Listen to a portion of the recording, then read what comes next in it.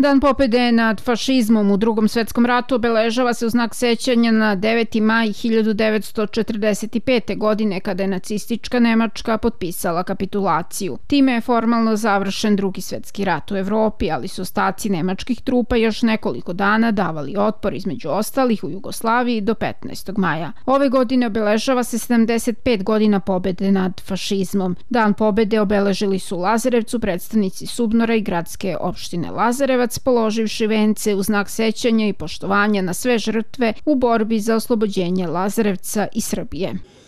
Borci naravno slovačke borbe u tom velikom, dugačkom, dugom ratu su dali jedan veliki doprinos da bi se taj 9. maj ostvario.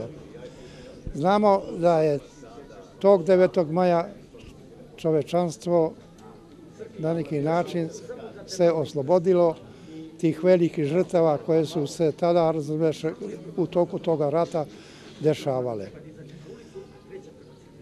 Danas bi moja želja bila najviše da izrazimo jednu veliku našu zahvalnost svim borcima Narodno-slobočkog rata koji su svoju mladost dali za našu slobodu koju i dan danas e, na neki način imamo i od tog 9. maja 1945. godine barem naša, naša država nije imala okupatorskih vojnika. I to je jedan možda najduži period u našoj istoriji da strane neprijateljske, neprijateljske vojske nisu gazile našu zemlju. I zato dugujemo jednu dugu, dugu zahvalnost svim borcima kako narodno slovačkog rata, tako i crvenoj armiji koja je dala najveće žrtve u tome ratu u toku svoje četvrtogodišnje borbe.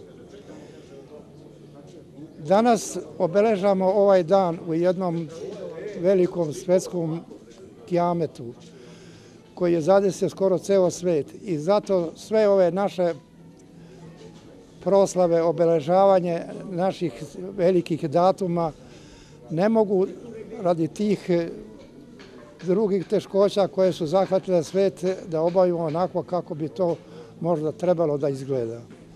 Ali nadam se da ćemo sljedeće godine ili drugih godina, ali to ne smemo da zaboravimo, to na jedan veći dostojanstveni način obeležiti. Po tradiciji, zamenik predsjednika gradske opštine Lazarevac Miloš Ivanović položio je venac i poručio Lazarečanima da se mora čuvati sećanje na ovaj značajan datum za našu, ali i svetsku istoriju. Ovo je dan kada je pobeđeno najveće zlo, a to je fažizam koji je odneo milione života u drugom svetskom ratu, rekao je Živanović. Naš narod je, kao i uvek u svojoj istoriji, e, na početku tog rata rekao šta misli o tome i čuvanom rečenicom bolje grob nego e, bolje grob nego rob. Samim tim je iskazao e, svoju prirodu, da ne želi da trpi oni koji ga pokoravaju, oni koji, ga, koji njegovu zemlju koji žele da počine i ušao je u neravnopravnu borbu sa mnogo, mnogo jačim neprijateljem, ali posle četiri godine zajedno s našim saveznicima uspeli smo da pokorimo to zlo, da mu vidimo leđa i da ga verovatno pošaljimo za, za sva vremena u istoriji. Ja želim da iskažem svoje poštovanje, svoje divljenje prema svima onima koji su tada, da ne kažem, prema svim onim hrabrim ljudima koji su imali snage, moći, odlučnosti da se suprostave tom zlu i da četiri godine krvare kako bi donali slobodu svojim narodima.